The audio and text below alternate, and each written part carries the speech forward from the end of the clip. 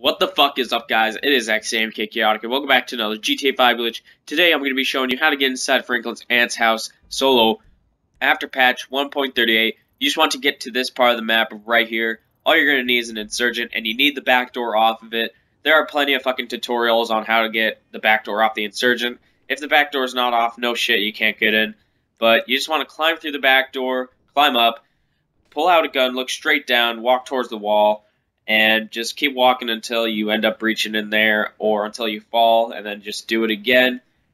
Um, Garrett GTA and I are the founders of this glitch. Of this glitch, I will leave his link in the description below.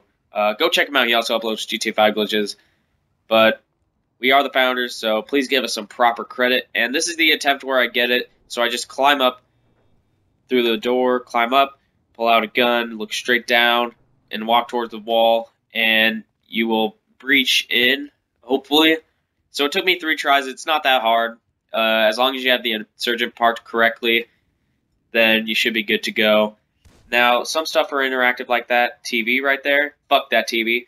Um, you can enter in every single room you want, so it just gives more opportunity to explore wherever in this house. So you can walk in that closet, you can get in the kitchen, can get in the dining room.